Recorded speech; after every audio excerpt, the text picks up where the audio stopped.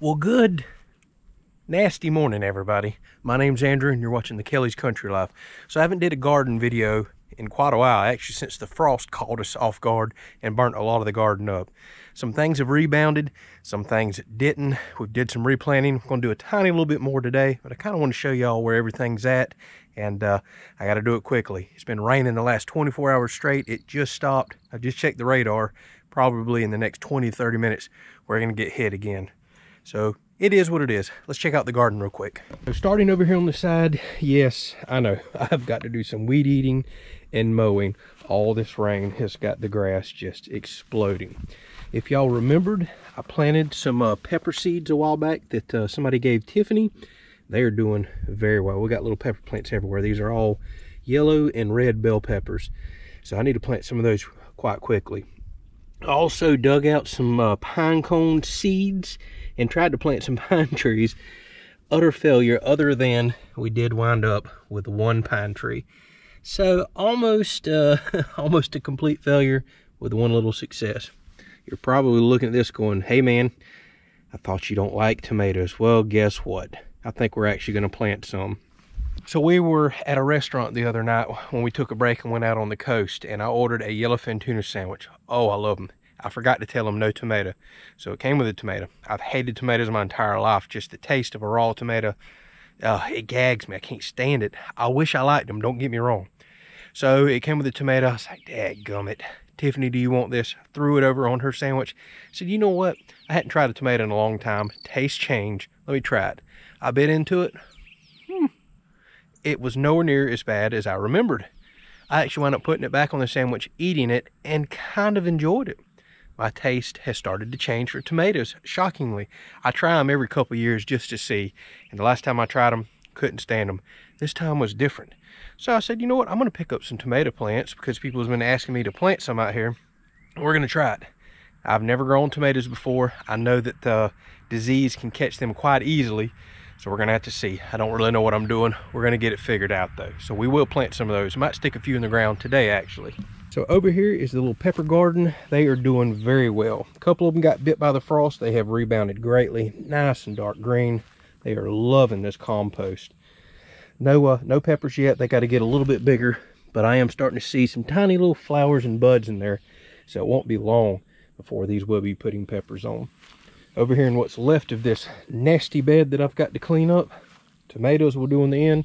A few more peppers out there. We're going to finish that off. But let's go take a peek in the garden. So one subscriber's always told me how much he loves the sound of this opening. So I always open it on camera for him. So if we take a peek in the garden, let's start over here with the okra. I had it covered up very well before that last frost and it got hit hard. Even being covered up, I thought I was gonna lose every bit of it. They wound up turning very brown. The leaves burn up, just did not look good. I've left them alone and while they still don't look amazing, they're coming back. They look well enough that uh, I think I'm going to let them go. Some of them are starting to look a lot better, but have some yellow to them. They definitely got hit hard by the frost. See some of these dead leaves right here. So I hope that they make it. We shall see. Now I still have some missing spots like that right there. I need to stick either some plants in or seeds. Then came out and replanted once and you can see where a lot of those are coming up, say here. I lost both of these rows to the frost, a huge section back there. This is all my replants.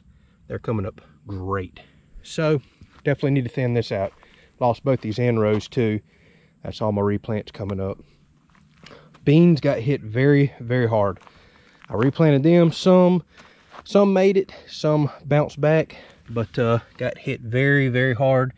Some replants are already starting to come up, as you see right here. I am missing a couple sections. I might be able to dig some plants up and transplant. We shall see. I didn't have good luck with that last time. So potatoes, oh boy, do these look good. And I kind of made a mistake here. So let me show y'all that. These two got burnt so bad, they went down to nothing. No green left in them. I thought, okay, for sure, they're dead. Well, I left them alone. They wound up sprouting new little green shoots back out. Here they go, taking off. The rest of the potatoes, you can still see some burnt leaves down in there from the frost. They did very well. They have exploded in growth the last few weeks. Just, I can't get over it. So here's where I messed up. I've done come out here and healed my potatoes up, but where I messed up is I have no more compost. I really need to fill these center sections in and could heal them up one more time. I just don't have enough soil in there now, as you can see, to heal them up again. Now I threw it up quite a bit one time. No doubt they'll make some potatoes just like this, but they are probably not going to make the amount of potatoes that they could make since I'm not hilling them up anymore. I do not have any more compost to throw in here. I need to fill these center rows or back up. That's where I messed up. So I had some compost left. For some reason one day I decided to clean that area up, took the tractor down there with a bucket, got the last of that compost up, stuck it in my new compost pile that's got all that topsoil and grass and wood chips and everything else, and just started mixing it all up. So there's no way I can get access to that compost anymore to fill the center of these rows in to kind of do a second healing. So it is what it is at this point. They are healed up pretty well, so I think they will make a decent amount of potatoes. I'm probably just not going to get the production that I could have because I wasn't thinking. So I have been struggling over here. We're about to do some replanting of my squash. No, this is zucchini, excuse me. It got hit really, really hard. Only technically two plants made it. Everything else I lost to the frost. And the reason I say this one didn't make it, it's just not, it's not growing well. There's a couple of them that got really stunted by the frost. They tried to come back, but they're just not growing. So I've already done some replanting, as you can see. But even with my replanting, not everything came up. Some did, some did not. Now, my uh, squash was covered quite well. The majority of it made it. Actually, I'm even starting to get some little flowers down in here. They'll open up before long and start making squash for me. So these are going to be way ahead of the zucchini. I've already did some replanting of those as well that came up. The replanting did okay. Like see, this one got hit by the frost and it's just, it's not wanting to grow at all. It's just stunted. But you've already got a little replant coming up right there and back there. So it is what it is with these. We're going to kind of watch them. I hate to have such an odd mix match garden this year, but I just could not help the frost. So I have been doing a tremendous amount of weeding over here in these. I just keep, these keep popping up by the hundreds right here. I keep pulling them out. I finally realized what the heck's going on. I planted peppers in this box last year and I let all the peppers just hang on there and basically rot on the vine, hit the ground. That is peppers that's coming up from last year. I have been digging them up by the hundreds. So I must have had hundreds, if not thousands of seeds making in that soil. Apparently they can lay dormant and uh, that's why I'm having to weed so much. I mean, look at this. Look at all that. That looks just like little pepper plants. I just keep pulling them up by the hundreds. So I kind of messed up there. See, that is definitely a pepper plant. Corn doing excellent. I've, uh, a lot of the corn is actually feeding itself through with the wind, believe it or not. But I've come out and fed some of it through. We're going to do a little bit of that on camera today. The cattle panels, I'm hoping are going to really help support them in the wind. Thus far, none of the thunderstorms have blew them down. I did go ahead and heal my corn up. Didn't record all that the other day just because I didn't intend to do it. Just come out here and started working. Next thing I knew, I done kind of did a pile of work in the garden.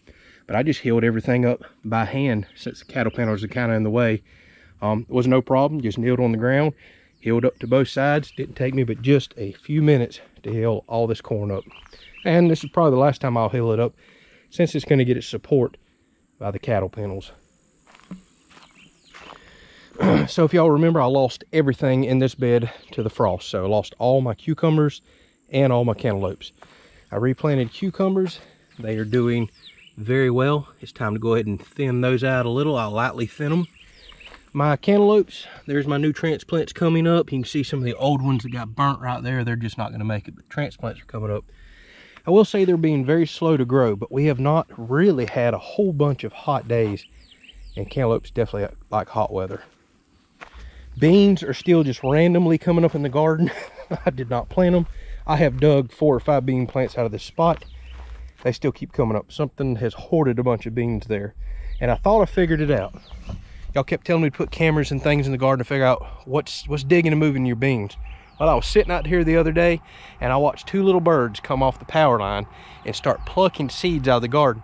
And sitting on the top of that post right there, I could see them eating seeds. So it looked like they were getting some of the squash and zucchini seeds that might have got exposed by rain or watering.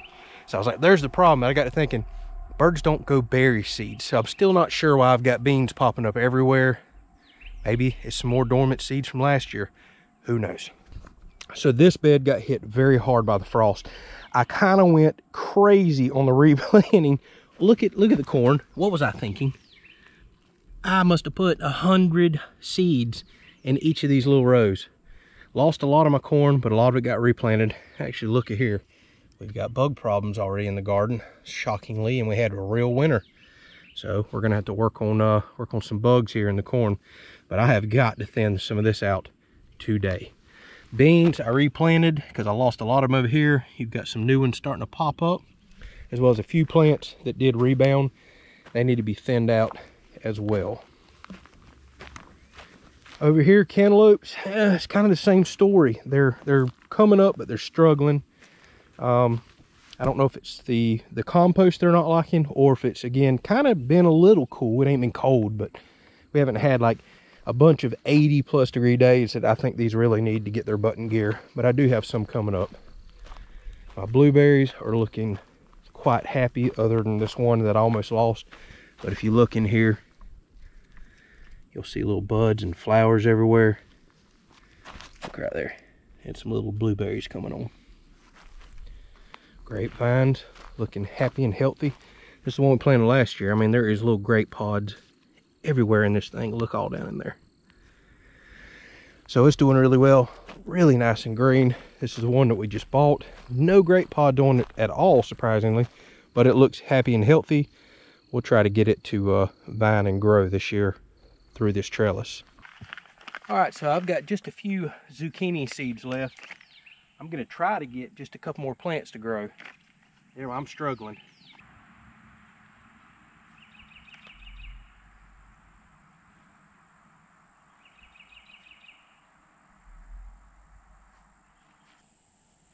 Maybe I'm being a little impatient. I just dug up a seed that was opening up.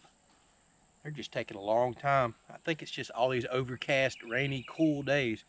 We need the ground to get hot.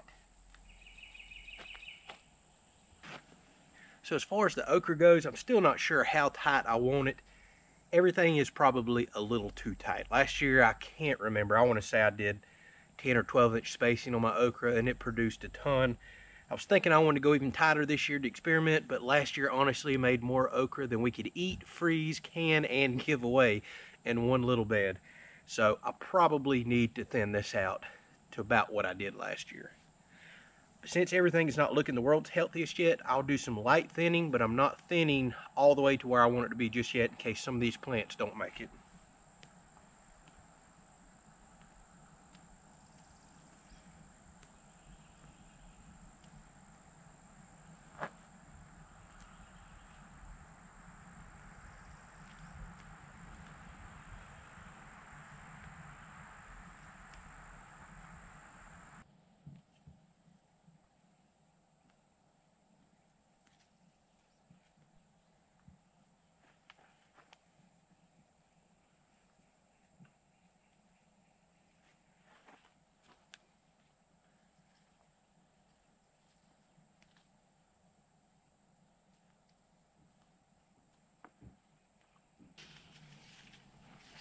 Now I'm really excited about this. I hope it works. I hope the wire doesn't actually damage the corn in the rain and wind. That's one thing I'm really kind of worried about. If we get a lot of wind and the stalk keeps hitting against this, it could snap it over. I don't know. One way to find out, we're going to try it. I'm quite surprised at how well the corn is growing through this stuff without my help. But there are some pieces I want to direct to other openings probably gonna have to come out here every day for probably the next week or two to make sure I direct these through. Because once they get too tall and bound up in here you wind up breaking them trying to feed them through. So this will require a little extra work for a little while.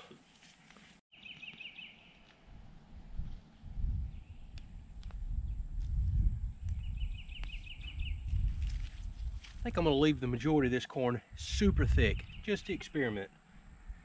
I think this compost can support more corn than I'm even realizing.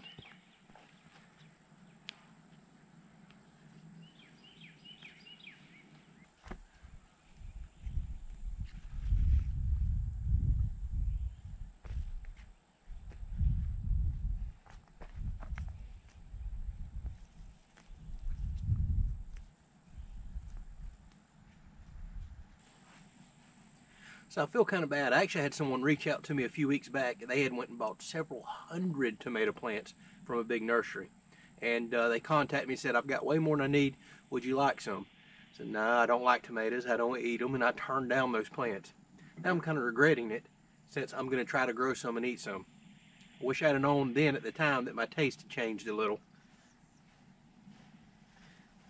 I also should have got my button gear earlier and got uh, some paste tomatoes so I could try to make tomato sauce this year.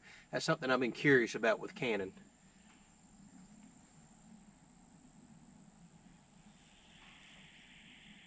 I really don't know how big these get, but I've got a few of these extra large tomato cages. So we're going to use these. And then we'll use a few of the smaller ones that I have.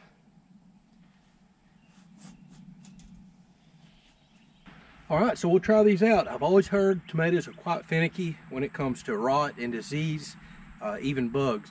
So y'all let me know some ideas of what I need to put down.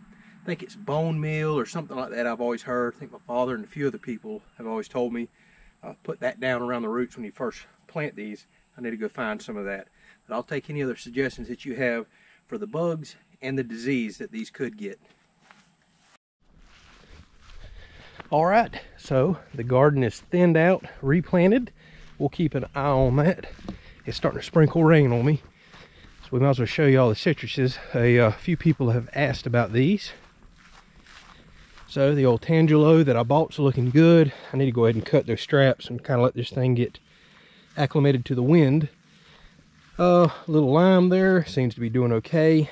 My other lime doing very well Uh, actually still got one big lime in it from a while back. But tons of little ones everywhere. A lot of these will drop off. That's perfectly normal.